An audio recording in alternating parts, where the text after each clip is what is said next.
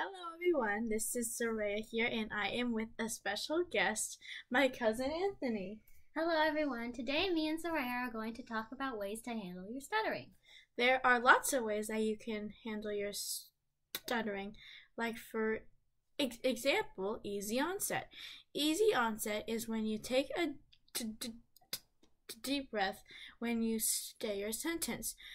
So, e- so let's say for e- example, you're you're saying, "Let's go get ice cream," and and with easy onset, it's like this. Let's go get ice cream. And another way is cancellation. Cancellation is when you cancel the stutter and try again. And then there's turtle talk. Turtle talk is when you talk slowly. Another way to handle your stuttering is to take a deep breath and try to say the word again.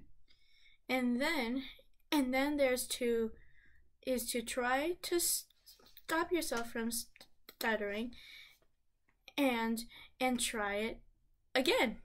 If you want Soraya to read this book, tell us in the comment section below. Bye everyone. Bye everyone. And don't forget to subscribe to my channel. Bye. Bye.